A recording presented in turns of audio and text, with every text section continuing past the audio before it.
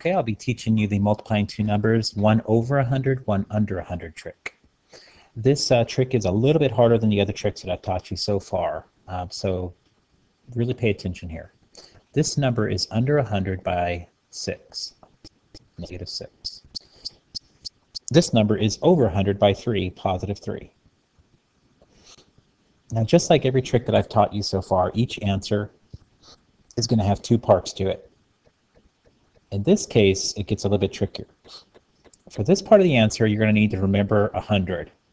And from this part of the answer, you're going to need to remember 99. So what you're going to do, it's under by 6 over by 3. Negative 6 times 3 is 18. You're going to subtract 18 from 100. 100 minus 18 is 82. You're going to write an 82 there.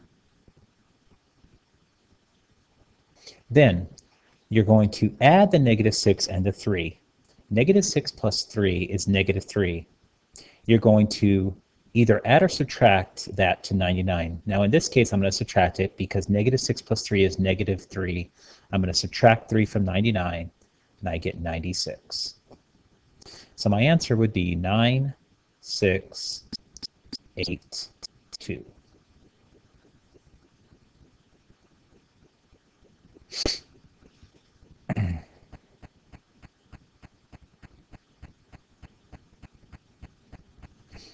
Okay, so let me walk you through this again.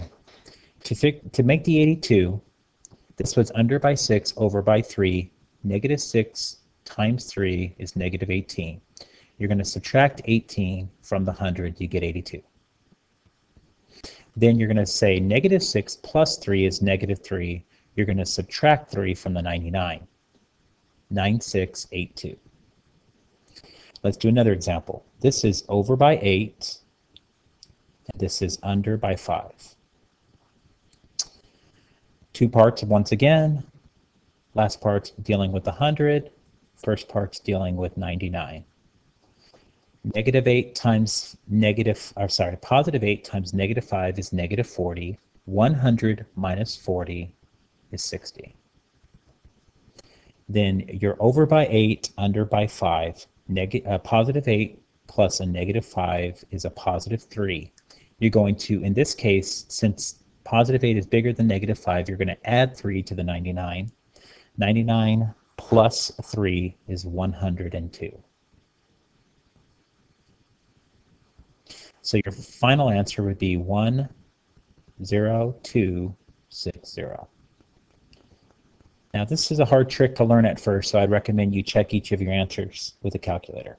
Good luck with it.